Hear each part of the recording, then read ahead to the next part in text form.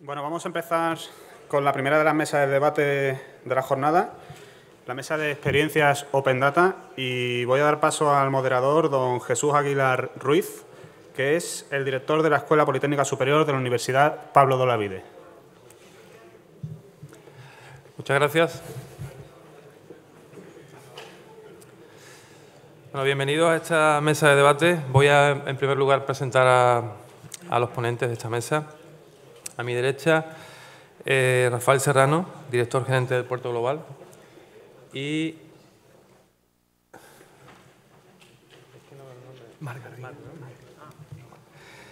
Y Mar Garriga, fundador de Tesis de Datum Data Company. A mi izquierda tenemos a Emilio García, director del proyecto datos.gov.es del Gobierno de España, y a Miquel Torregrosa, responsable de Estrategia TI del Centro de Telecomunicaciones y Tecnología de la Información de la Generalitat de Cataluña.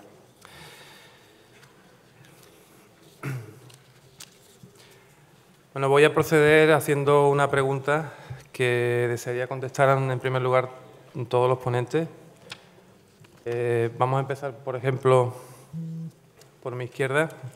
Y la primera pregunta con respecto a este tema es el porqué de, del Open Data en, en Administración Pública y en general portales de datos abiertos.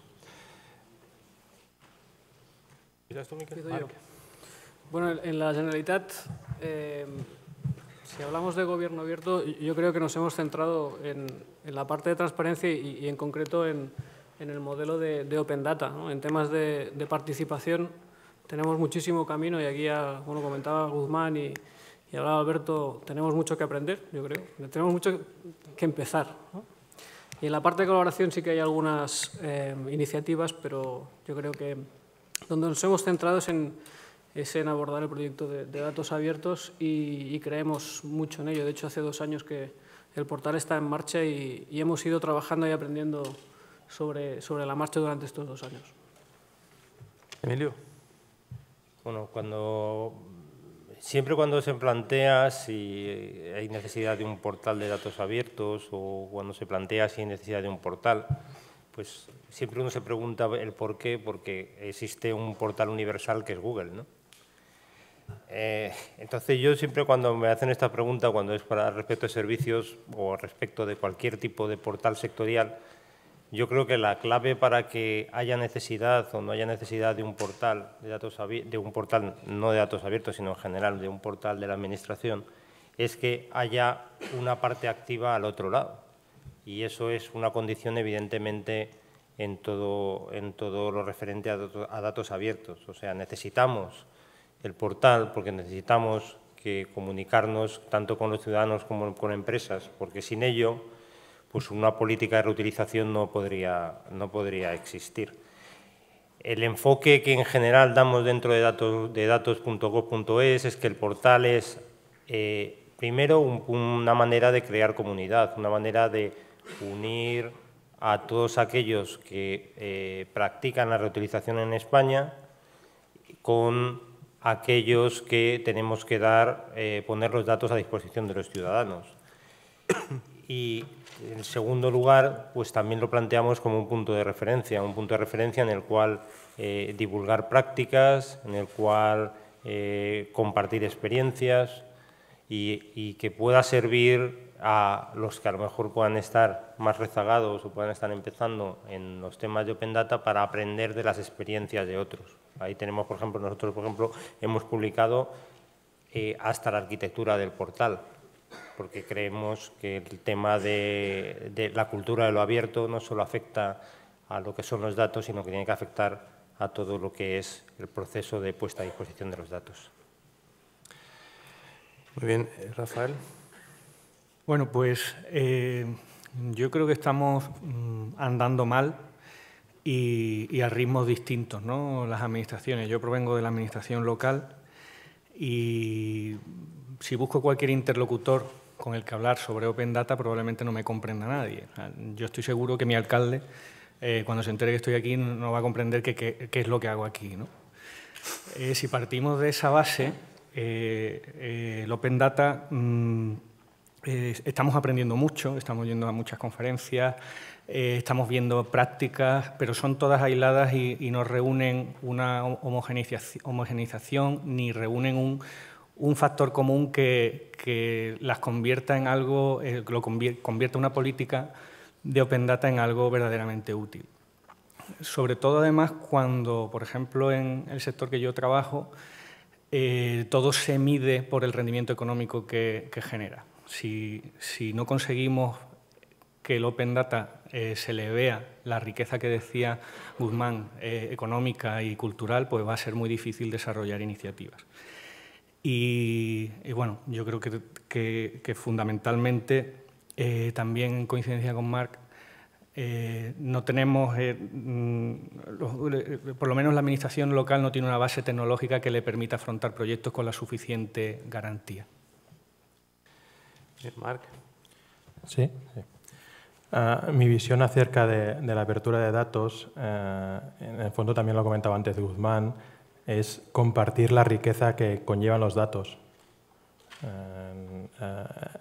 Y ahí ya somos muchos de los que decimos que vivimos, hay gente que dice que, que vivimos en una sociedad de la información o en una sociedad digital, pero algunos vamos más allá y estamos diciendo que vivimos en la sociedad del dato. Todo, todo lo que hacemos, todo todas nuestras acciones, detrás hay datos. Con lo que de esos datos se puede sacar eh, bueno, beneficio económico, riqueza. Y abrir los datos significa pues, compartir riqueza. Si antes comentaba Guzmán que el gobierno abierto es compartir el poder, pues abrir los datos es compartir la riqueza. En ese sentido, pues es eh, inexorable que mm, las bondades que conlleva abrir los datos. Otro tema, y también, y también lo hablaba Alberto Ortiz de Zárate cuando hablaba de que reducir los costes de las eventuales leyes de transparencia, sea una o 17 o las que sean. Dicho esto, eh, en España ¿Cómo estamos aquí en España? Pues en España eh, la situación del Open Data a primera vista podría ser buena, dado que hay muchos portales Open Data, pero es muy frágil. Y el caso de Córdoba, que, ya no, que antes se ha mencionado y ahora ya no existe, el portal Open Data demuestra que, bueno, que la situación es frágil. Se han abierto muchos portales, pero con, aún con pocos datos, y además de esos datos, pues la mayoría son estadísticos, que está muy bien, pero que no generan tanto valor como otros. supongo que esto ya lo veremos después. Bueno, voy a hacer una pregunta para que alguno de los ponentes eh, responda y es eh, ¿cuál es la situación actual de España con respecto a, al resto del mundo en este asunto? Yo creo que cualquier comparación cualquier comparación internacional siempre es difícil, ¿no? porque las circunstancias de cualquier administración a la hora de abrir datos es distinta o a la hora de cualquier tipo de servicio, de servicio público. Y para evaluar quizás el Open Data hay que mirar, yo creo que hay que mirar dos factores. Primero, qué utilidad tienen los datos que publicamos, que es algo que ha mencionado antes Guzmán, y cuál es la facilidad de uso que damos para poder acceder a esos datos. Entonces, si empezamos por lo segundo, pues creo que andamos razonablemente bien, incluso eh, en el caso nuestro hemos recibido algún reconocimiento internacional porque nuestro portal era el portal más amigable de la Unión Europea, pero eso es quedarnos en la parte de fuera. Probablemente en la parte de utilidad yo coincido con Guzmán en que en la parte de utilidad de a lo mejor de los datos que publicamos no estamos publicando los datos que nos piden, pero eso ni en España ni en ningún país.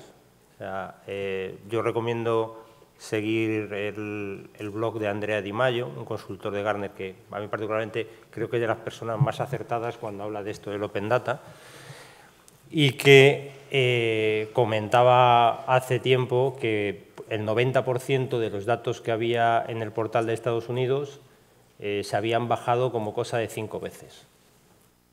Entonces, si tienes muchos datos pero no se utilizan, tampoco es algo que sirva de mucho. El ejemplo que ha puesto antes de, la farmacia Guzmán mm, me parece clarividente de, la utilidad de los datos que a veces, que a veces publicamos.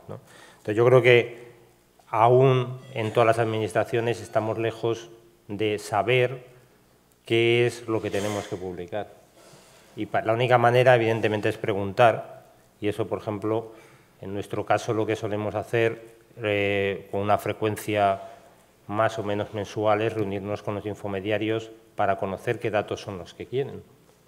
Y siempre eh, nos sorprenden con datos que jamás se nos hubiera ocurrido y que tampoco se le ocurren a los ministerios que tienen que publicarlos. por eso yo creo que estamos bien, pero siempre podemos estar mejor. ¿Alguna otra opinión? Muy bien. Eh, vamos a orientar un poco el debate hacia la ciudadanía, pero antes eh, me gustaría que cada uno de los ponentes explicara el, el proyecto Open Data en el que está trabajando. Empezamos. ¿Pido yo? Bueno, si, pues, si lo prefieres empezamos no, no, ahora ningún por allí problema. para- problema, no problema. Bueno, como, como os comentaba, el, el proyecto Open Data de la, de, de la Generalitat de Cataluña empezó justo ahora hace dos años, ahora estamos de, de aniversario. Eh, en su momento nació eh, con la intención básicamente de recopilar información que ya estaba abierta, pero que no estaba eh, puesta debajo de un sombrero con, que, pusiese Open Data en este sentido, pero ya se estaba abriendo información. a lo largo de estos eh, dos años hemos hecho básicamente dos cosas.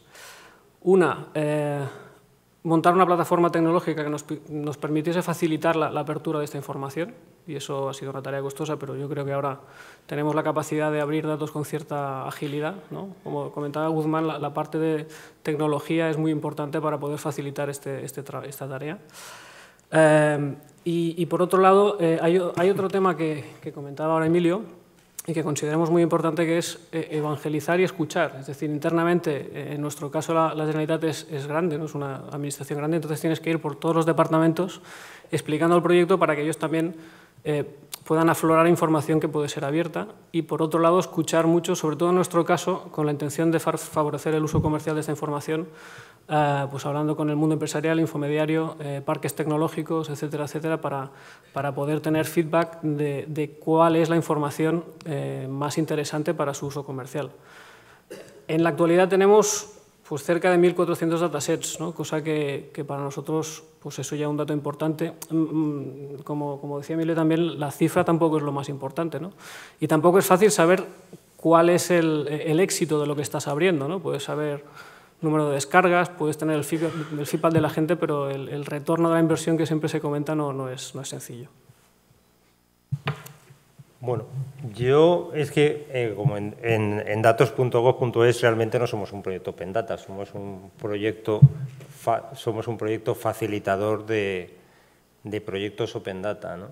Entonces, la experiencia nuestra es fundamentalmente en tratar de apoyar a, a fundamentalmente a los ministerios y organismos públicos de la Administración General del Estado, pero en general a todo el mundo de las administraciones públicas que nos pide cualquier tipo de colaboración.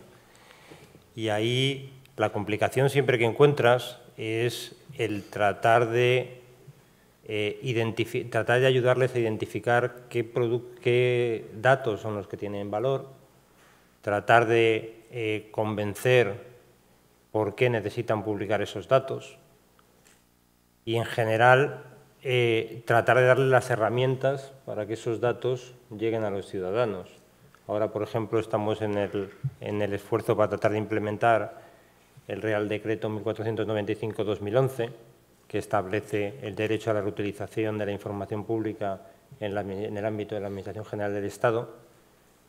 Y realmente está siendo una experiencia enriquecedora, porque eh, llega, eh, eh, para entender el, el- el alcance de tener que implementar un Real Decreto de estas características, solamente en la Administración General del Estado hay 270 organismos públicos a los que tienes que dirigirte y a los que tienes que tratar de convencer de que publiquen información y a, los que tienes que hacer un seguimiento constante.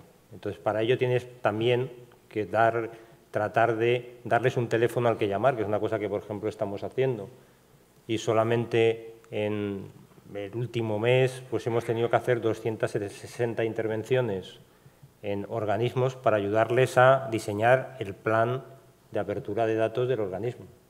Entonces, es, es enriquecedor y al mismo tiempo hay veces, pues evidentemente, que, que uno puede, puede sentirse un poco desalentado de la respuesta, pero en general yo creo que eh, en la Administración se quiere abrir datos y por eso es por lo que están empezando a aparecer. Bueno, nosotros somos unos, en el ayuntamiento del que vengo, somos unos recién llegados a, este mundo. Abrimos el presupuesto, formato Open Data, hace escasamente mes, mes y medio. Eh, y lo hicimos no poniéndole el sombrero de Open Data, sino poniéndole el sombrero de la transparencia. Eh, la verdad es que los ayuntamientos, si, hay muchos estudios que lo, dicen, el 80% de las tramitaciones que hacemos como, ciudadanos se hacen con los ayuntamientos.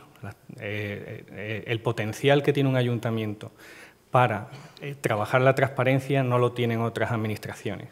Sin embargo, la otra cara de la moneda es que son las administraciones que menos recursos tienen o las, en las que falta más esa base tecnológica que comentaba antes. Eh, tenemos dos proyectos más. Hay uno que, al que le cuidamos con especial cariño, que llamamos IRIX. hemos cogido y hemos centralizado toda la información socioeconómica que, está en poder de la Administración local y otras administraciones que afectan a nuestro término municipal y la hemos volcado en un sistema de, tanto de visualización como de, muestra de datos. Y esos datos pues, se pueden sacar y se pueden convertir en datos abiertos. Eso lo estamos mimando hasta el punto que lo presentamos antes de verano y estamos en la fase de estudio de caso, de ver alguna empresa que, lo utilice para implantarse en nuestro término municipal, pues haciendo su estudio de mercado o, cualquier otro análisis que necesite realizar. Y ya tenemos alguna franquicia importante pues, que está haciendo uso del sistema para, para buscar la ubicación idónea. Tenemos experiencias buenas y experiencias malas. También tenemos una experiencia muy reciente eh, de querer, querer abrir los datos sobre el patrimonio del ayuntamiento. Nos hemos encontrado encerrados, encorsetados en una maraña de leyes y en una maraña de discusiones jurídicas que derivan a que los datos pues, eh, no se abren con la agilidad que nosotros quisiéramos. ¿no? Eh, claro, eh, automáticamente lo que hace una administración local pues se fija eh, qué hacen los mayores y llama al Ministerio de Hacienda y le pregunta al Ministerio de Hacienda, oye, ¿tenéis publicado el inventario del Estado? Evidentemente no lo tienen publicado. Sin embargo, en Francia lo tienen publicado los ministerios, lo tienen publicado las regiones y lo tienen publicado los ayuntamientos en muchos casos. Y es paradójico que eh, nuestra, administración, que viene de, es prima hermana de la francesa y es lo que, nos dejaron, pues haya sabido evolucionar y nosotros estemos encorsetados todavía en, leyes que no permiten que los datos fluyan. Bueno, yo brevemente mi, mi, mi, implicación en el mundo, en los proyectos Open Data, eh, fui en su día impulsor del, servicio Open Data del Ayuntamiento de Barcelona. Eh, también estuve hace escasos meses, justo antes de verano, eh, participando en la agenda digital, en la nueva agenda digital europea, donde hubo una especial hincapié en los, temas de datos en general, no solo de Open Data, también de, Big Data y estas cosas. Y, bueno, también estoy participando con, con Alberto Ortiz de Zárate en la renovación del, que, del que yo considero que es el, el, proyecto líder en, apertura de datos en España. Y dicho esto, eh, solo un inciso de la pregunta anterior, que me, que me lo he dejado, eh, en la situación de España, cuando comentaba que era frágil, un ejemplo muy claro es también la, lo que comentaba ahora César Calderón, vía Twitter, que es el tema de la Agencia Español, Española de Meteorología, que como sabéis eh, los datos antes eran, estaban, bueno, se podían eh, eh, conseguir de forma automática y libre y gratis y ahora ya no. ¿vale? Eso es otro de los ejemplos que comentaba antes de la fragilidad del sistema. Muy bien. a continuación... Mm, vamos a desviar un poco la atención hacia la ciudadanía. Eh, yo me he quedado un poco sorprendido con ese distanciamiento que existe entre ciudadanía y gobierno, según comentaba nuestro anterior ponente.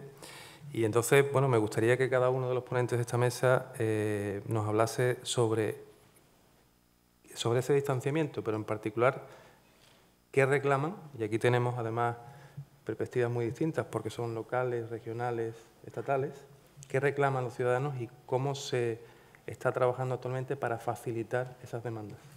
Empezamos ahora por, por Marc.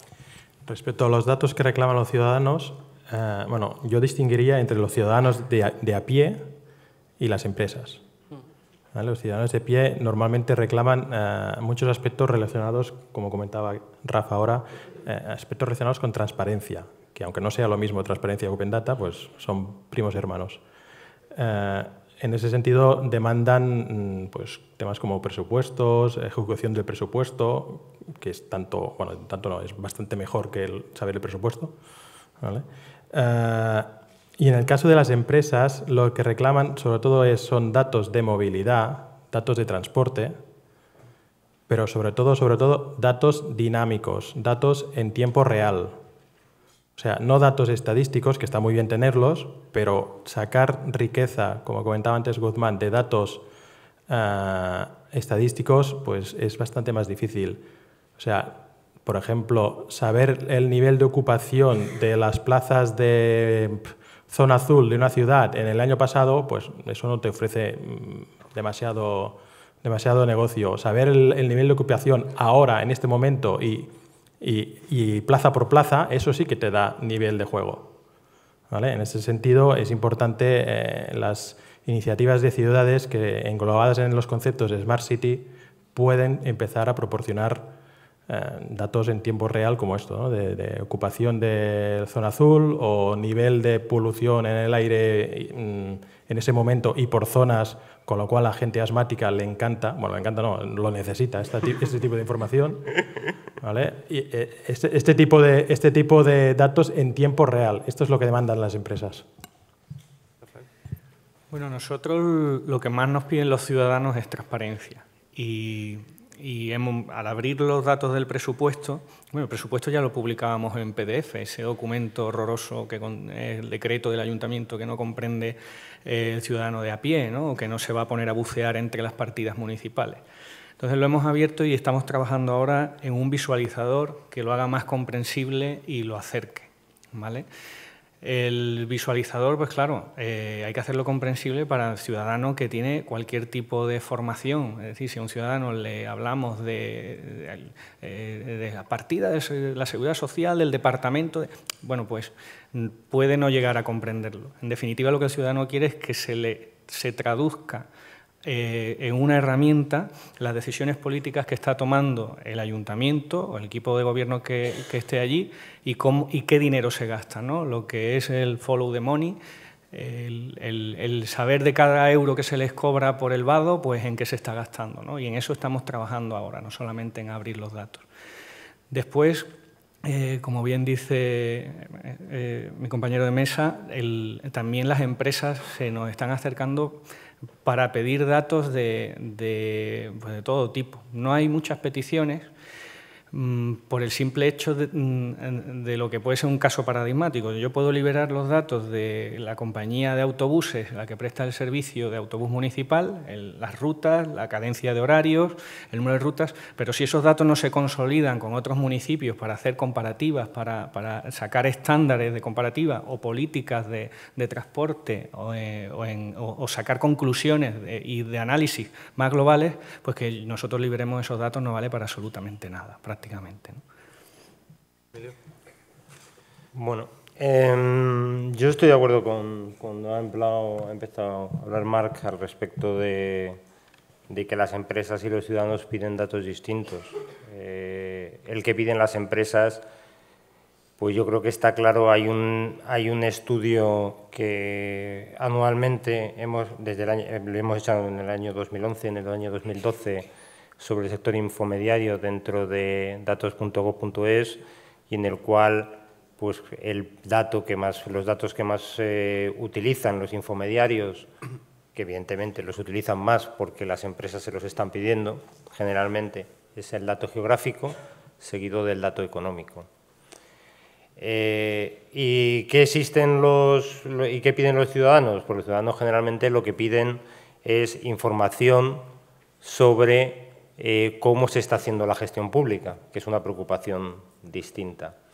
Pero dicho esto, que son las grandes eh, líneas y que yo creo que todos estamos de acuerdo, yo creo que la única manera de saber lo que piden los ciudadanos, yo insisto y en lo que decía Guzmán y lo que piden las empresas, este, es, lo mismo. Hay que, hay que preguntarles a ellos qué es lo que nos piden y hay que dialogar con ellos y tratar de identificar cuáles son, cuáles son sus necesidades, porque siempre nos, van a, siempre nos van a sorprender de qué datos son los que piden.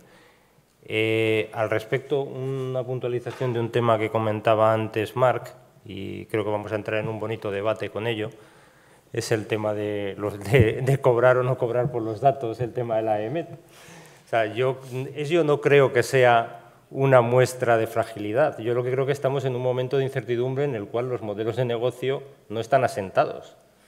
Entonces, eh, los datos públicos, y eso es un tema que ha comentado Guzmán, no tienen necesariamente por qué ser gratis. Eh, existen datos que a lo mejor el, publicarlos o el procesarlos exige un coste y, si no, eh, y, que evidentemente mm, puede hay distintas maneras de trasladar el coste. Yo con eso no quiero decir que me parezca ni me parezca ni bien ni mal eh, la política de AEMET sea, simplemente es una decisión que tiene que tomar el gestor político y, en función de ello después hay que, hay que juzgarlo, sino que tenemos que estar acostumbrados a que va a haber distintos modelos de negocio, que va a haber datos que se van a cobrar y datos que no se van a cobrar, y que el que haya datos que se cobren va a permitir que haya datos que, no, que se publiquen sin cobrar, y que habrá modelos que se cobren por detalle, como puede ser un modelo eh, tipo iTunes o puede, haber o puede haber suscripciones a datos como un modelo Spotify, pero esos modelos de negocio empezarán empezarán empezarán a aparecer, porque el publicar los datos, a pesar de que haya un coste marginal, tiene un coste en este momento, porque como también bien decía Alberto, si, eh, existe si está integrado dentro de lo que es el proceso administrativo, la publicación de los datos, es barato. Si no está integrado como ahora, porque ahora mismo los datos que se están sacando no son datos que estén integrados, la publicación no está integrada dentro del proceso administrativo, sino que tenemos que sacarlos a lo mejor de los datos donde los tenemos, pues esos datos puede llegar a tener un coste de la publicación. Bueno, eh, estoy muy de acuerdo en, todo lo que se ha comentado en la mesa. ¿eh? Solo para añadir alguna cosa. Em, muy de acuerdo con lo que comentaba Marc a nivel de datos, sobre todo relacionados con la movilidad transporte y en tiempo real, es decir, información en caliente, pues, por ejemplo, del servicio de cercanías, como en nuestro caso, que cada, cada cinco minutos actualiza el estado del servicio. Em, los datos meteorológicos siempre han sido un, top one, es decir, eh, hay mucha demanda de, esta información, tanto a nivel de consulta vía web como a nivel de, datos abiertos. Eh, y a veces eh, bueno, nos damos cuenta de que la información que piden las empresas son los datos que requieren los ciudadanos para, consultar. Es decir, las empresas que quieren crear negocio pues, piden datos que consideran que los eh, ciudadanos van a, van a, querer consultar ¿no? y a partir de aquí generar negocio. Entonces, temas de movilidad, temas meteorológicos, temas relacionados con el turismo y el ocio, ¿eh? cosa que en Cataluña es muy importante. Y luego, solo para añadir un último punto, eh, nos piden también empresas datos relacionados con la actividad económica. Es decir, Temas como indicadores de, producción, de ocupación, de paro, eh, censo de actividades económicas, etcétera, porque para ellos es muy interesante esta información para realizar campañas de marketing o estudios de mercado. Son datos que si, pueden disponer de ellos los pueden explotar para hacer según qué tipos de, acciones comerciales. Muy bien. ¿Hay algún control sobre el, el uso que se... la cantidad de uso que se hace de los datos y eh, la calidad del uso? ¿Existe algún control actualmente?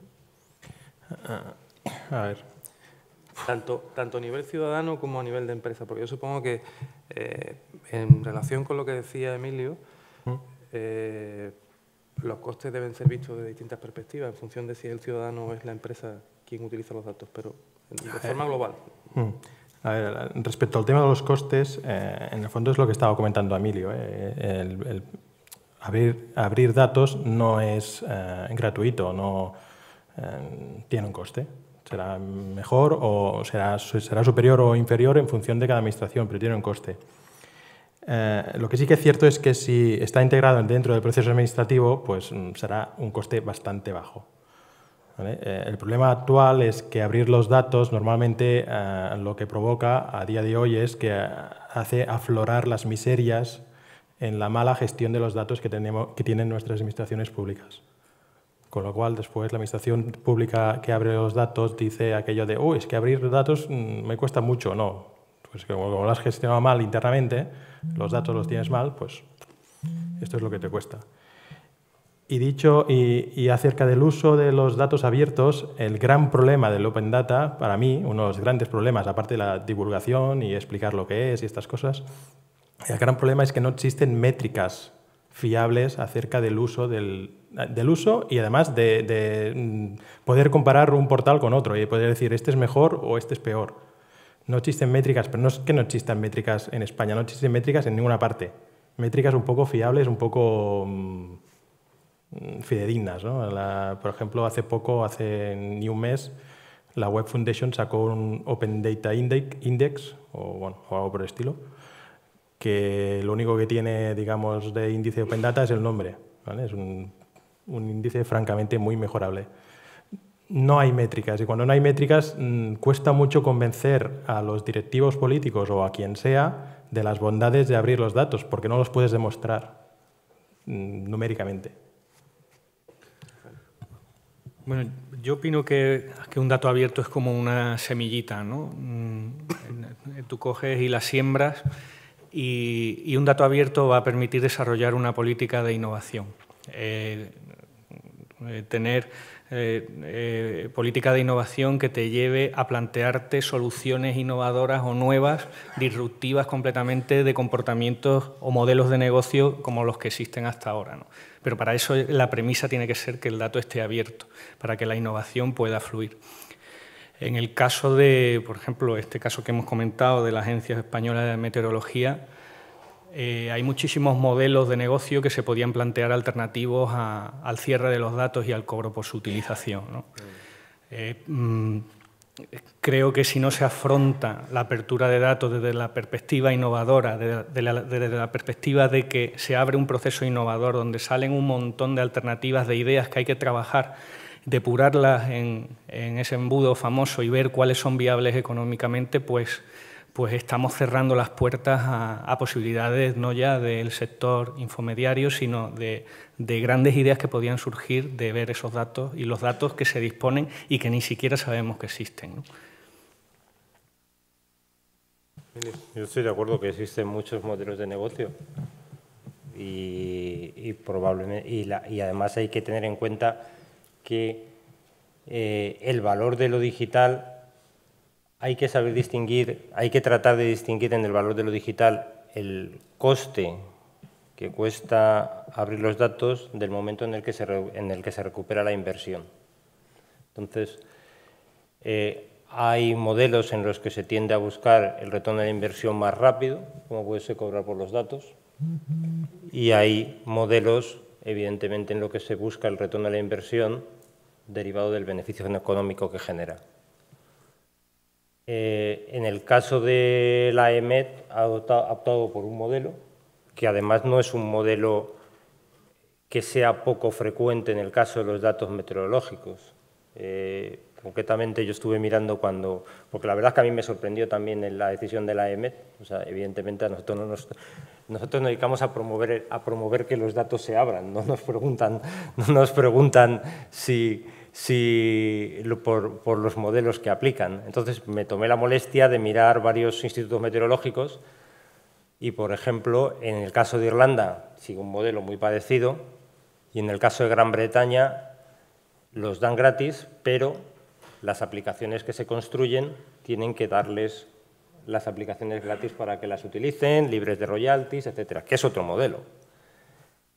Entonces, eh, repito, o sea, los datos públicos no tienen cuando se una cosa es que los datos estén accesibles y otro que la licencia para reutilizarlo sea gratis. Los datos tienen que estar accesibles porque los datos son públicos y en eso estoy de acuerdo y es una opinión personal que además está en la ley de transparencia, en el proyecto de ley de transparencia. En el proyecto de ley de transparencia se indica que los datos públicos tienen que ser accesibles. Lo que eh, no necesariamente tiene que ser sean datos que la reutilización no tenga, no tenga coste.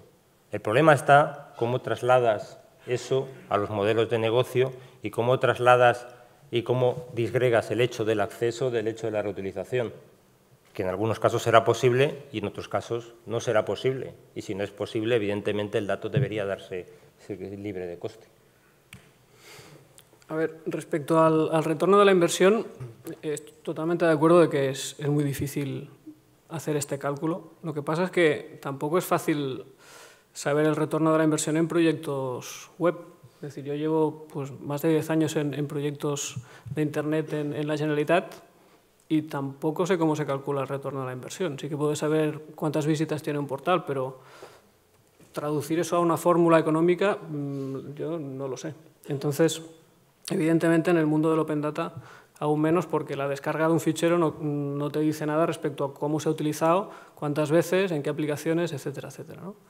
Si vamos al mundo de los servicios web abiertos, que es un tema que igual hablamos luego más, más en detalle, ahí sí que podría saber pues, que ha sido más consumido o menos, quién lo está consumiendo, si es una aplicación, son muchas, etcétera, etcétera. ¿no? Pero lo veo complicado. Y, respecto al tema de pagar o no pagar, no me voy a meter mucho, ya creo que Emilio ya has entrado bastante en ese tema, pero sí que veo, y, también por mi experiencia en la Generalitat, que en algunos casos implica un, o, debería implicar un, cambio de paradigma en el modelo de negocio de las empresas públicas, porque muchas basan, como mínimo en parte, su modelo de negocio en, en, lo que los datos los venden o el uso comercial de esa información. Y por tanto eso no es, no es directo, eso no va a ser mm. rápido. Eso requiere de un estudio y de, y de un cambio profundo, ¿no? que yo creo que se tiene que plantear. Mm. Existen otros modelos de negocio, por ejemplo, hay, hay empresas, eh, sector público fuera de España, que lo que plantea es un servicio que es gratis y que lo que te plantea es, si quieres tener garantía, por ejemplo, de, los, de que los datos estén actualizados en cierto tiempo, tienes que pagar por ese servicio. O sea, existen muchos modelos y no necesariamente todos los modelos son gratis y al final lo que hay que buscar es que haya la mayor cantidad de datos publicados y la mayor cantidad de datos posibles gratis. Sí, nosotros intentamos abrir todos los datos eh, de forma gratuita y ha sido así hasta ahora. Lo que sí que dándole vueltas a este tema ¿no? y ligado con, con lo que ha pasado con, con AEMET, eh, yo creo que en algunos casos incluso las empresas estarían dispuestas a pagar un, un importe si realmente sacan un beneficio. Y eso no sirve para todos los datos y por tanto no es ni un sí ni un no. Eso supongo que se irá trabajando y, se colocará de forma equilibrada en base también al éxito que tenga esa información. Para terminar, voy a hacer una pregunta que rogaría se contestara en una frase, si es posible, y es eh, la, visión de futuro sobre, sobre este tema. Es decir, vamos a trasladarnos dentro de 10 años y ¿Dónde estaremos? ¿Qué situación? Sí, sí. Uh, visión de futuro de la reutilización de los datos. Mm, en una frase. O en dos. Uh, para mí la, la, visión de futuro es uh, o pasa por dos ámbitos creo que importantes. Es evidentemente seguir habiendo datos, esto ya lo doy por hecho, datos públicos, pero abrir datos también de, privados, de empresas. Mm. Empresas que dan servicio público. Ayer, por ejemplo, estaba en una reunión en Barcelona y me, decían de que mm, de 15, no, 13 puntos de control en Barcelona o, sitios de control en Barcelona, solo tres son del ayuntamiento, el resto son de empresas privadas, de aguas y estas cosas, ¿no? y luz y gas. O sea, abrir datos privados, un tema, y la otra es lo que se ha comentado antes ya en, en ha comentado Guzmán, armonizar. No tiene sentido que tengamos 17 portales Open Data y son 17 silos Open Data. Hay que armonizar, no, ya no solo a nivel de España, sino a nivel de Europa y, de, y de lo que haga falta. En una frase, pues eh, yo creo que la frase de la ponencia, de la ponencia de las jornadas, ¿no? La administración que quiera ser abierta, eh, que se quiera abrir a los ciudadanos, eh, los ciudadanos que quieran participar de esa administración, colaborar con ella, pues un requisito completamente indispensable e irrenunciable es que los datos estén completamente abiertos. Yo suscribo de, las, eh, de lo, que, lo, que cuenta, lo que cuenta Marc, es decir, yo creo que existen el futuro de, de, la publicación de datos y el futuro del Open Data en parte pasa porque las empresas de servicios general, de interés general, publiquen sus datos y esos son entre los datos, igual que hay datos que no tienen que pueden tener un coste, hay datos que deberían ser gratis. Y entre los datos que deberían ser gratis son los datos relativos a la energía, los datos relativos a las telecomunicaciones, los datos relativos al agua, porque esos son datos que facilitan a los ciudadanos la elección y facilitan a los ciudadanos una mejor calidad de vida.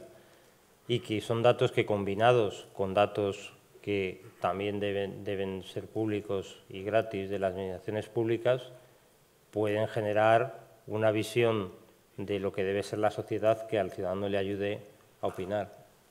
Entonces, yo particularmente suscribo lo que ha dicho Marc de, que hay datos, que el futuro, de, el futuro de los datos abiertos pasa en parte porque se publiquen datos del sector privado y por la colaboración público-privada para que los datos que no pueden sacarse porque tienen un coste puedan salir hacia afuera. Un apunte técnico que de hecho es parte de nuestra estrategia para el año que viene, que es el hecho de potenciar servicios web abiertos, eh, robustos y eficientes para facilitar la, la, reutilización, sobre todo en el desarrollo de aplicaciones. Eso no es una tarea fácil porque técnicamente tienes que montar una plataforma que, que aguante y que sea escalable y bueno, ya se ha hablado también en, mesas anteriores, pero creo que hay dos tendencias tecnológicas clave en ese sentido, que son Big Data y, Cloud Computing. Nuestra experiencia en, el piloto y en, la beta que hemos hecho nos lo, demuestra. Y yo creo que esa es una, vía que se tiene que trabajar para facilitar el acceso a la información en caliente y, y con seguridad. Muy bien, pues antes de terminar voy a hacer una síntesis brevísima de lo que se ha hablado en esta mesa, así que me otorgo el papel más difícil de todos. Y bueno, solamente por, por tomar algunas notas importantes. ¿no? La primera creo que mm, hay una cuestión importantísima que es la de evangelizar, que ya matizó eh, Guzmán en la anterior conferencia. Se detecta también una importante eh, falta de cooperación entre las distintas administraciones. Bueno, no falta porque yo creo que más bien es eh, ausencia. No lo podemos llamar falta todavía, sino que hay que ponerse a trabajar en eso, en, los distintos ámbitos, es decir, local, regional. Y por las respuestas que han dado los ponentes a la última pregunta, creo que también esa cooperación habría que trasladarla al ámbito privado, es decir, a las empresas privadas para que haya una colaboración eficiente entre las distintas administraciones y, y los datos de interés público. Y por resumir, pues el, título de, este, de, esta mesa, creo que, bueno, Open Data se puede resumir en dos palabras. Compartir riqueza, que todos los ponentes lo han mencionado. Muchas gracias a los ponentes por su presencia y auditorio.